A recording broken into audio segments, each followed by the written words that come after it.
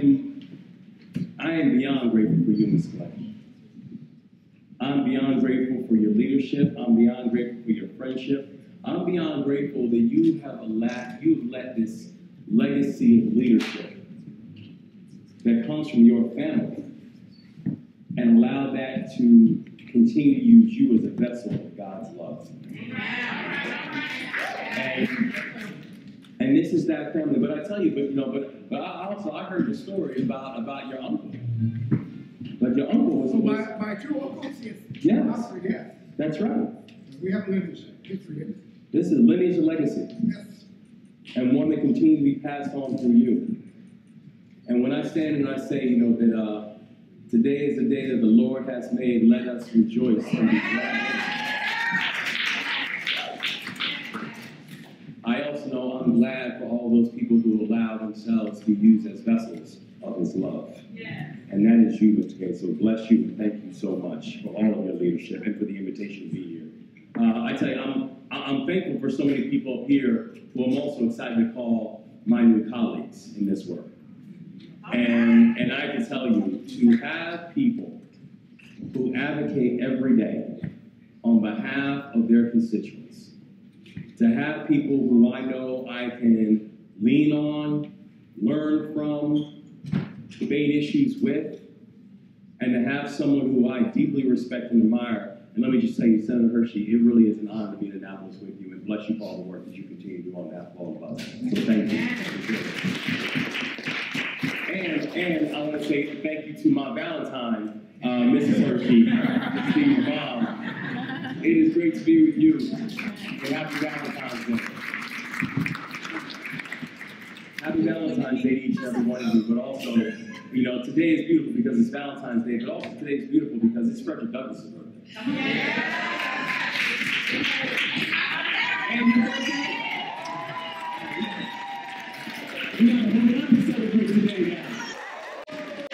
But it's but, but it's, it's important that we highlight that. It's important that we celebrate that, and it's, and it's one of the beautiful things about Corral.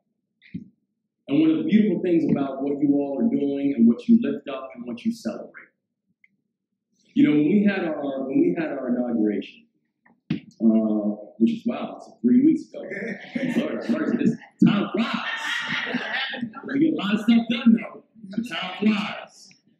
And that's why I know for a fact that we have 1,432 days left, and we're not, we're not going to waste a single one. We will not waste a single one.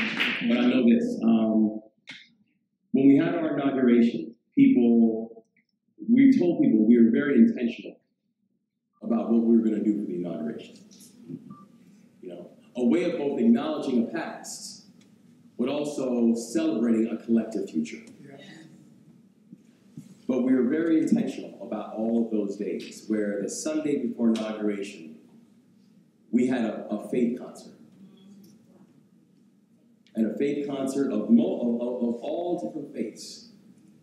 And we had about a four hour concert because we wanted people to know that not just that this administration, but me as a leader, that I am rooted in my faith. I understand, I understand I understand the separation of church and state. But I'm very clear, I'm a child of God. I know where my strength comes from. I know who woke me up this morning. I know who put me to bed tonight. Alright?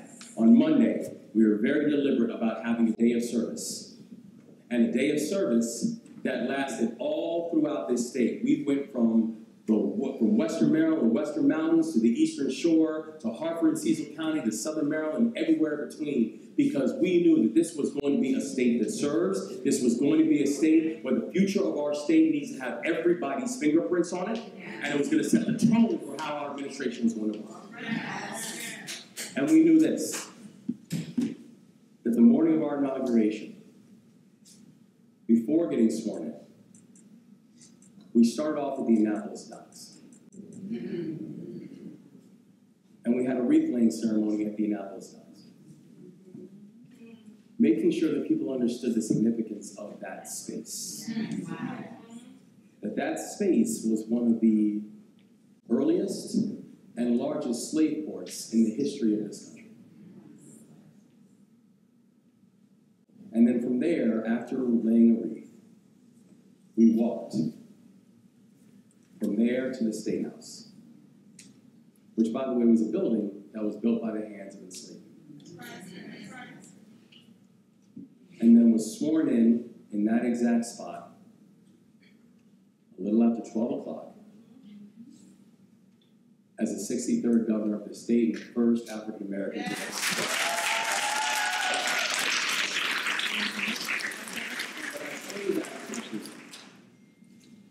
intentionality behind what we do. It's not an accident. And it's not indoctrination. It's history. It's understanding that the power of our state, the power of our communities, the power of our, of our, of our being, is the fact that our history has been uneven. And still we rise. And we do it together and we do it collectively. The power of this space is an understanding that in order for us to truly move forward, it means we must appreciate the hands and the lives that got us this far, that believed that there could be a better tomorrow, that understood. That's right, who showed us the way, and who showed us that the only way that we were going to lead was with love. That the only way that we were going to advance was to be to, was to do it together that the ones who showed us that joy comes in the morning. That was the message. That was the spirit.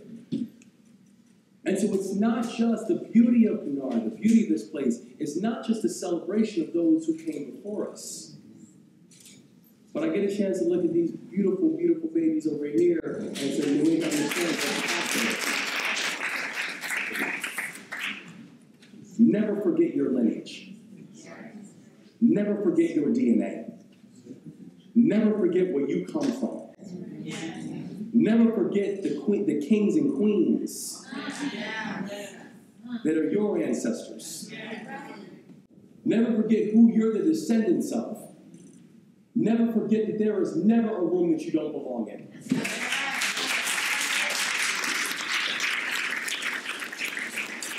I know for a fact it's because of places like this. I know for a fact that there is never a room that I don't belong in. I know for a fact that it's because of places like this, places that remind me who I am.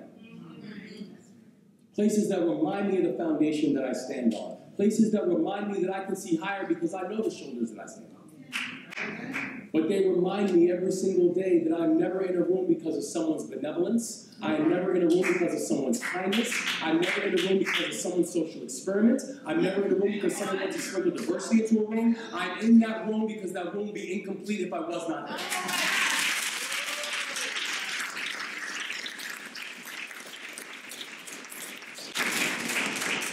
And so Kennard is a celebration. It's not just a celebration of where we've been. It's a celebration of where we're going. It's not just an acknowledgement of our past. It's a celebration of our future. It's what we can do collectively. What we can do together. How beautiful and bold our state can be when we focus on actually building a state where we root for each other. Yes, yes, yes, How beautiful our state can be when we stop worrying about where the idea came from, then is it a good idea? That when we do that, when we celebrate that heart, that vision, that commitment, that sacrifice, that promise, then we know that there is nothing that can stop us. And you know how we know? Because it was written long before we ever showed up. That's right. We're simply walking in the steps. Yes. And so I'm thankful to be here with each and every one of you today. I'm thankful to be here with each and every one of you tomorrow. I'm thankful to be each and every one of y'all for the next eight years. I'm thankful to be with y'all.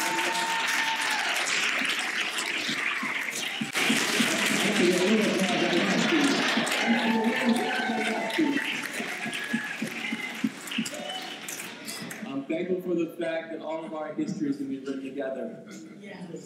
And it's going to be a beautiful story to tell with about 6.3 million hands that are all on the panel. Yes. So God bless you all. Thank you for all your you.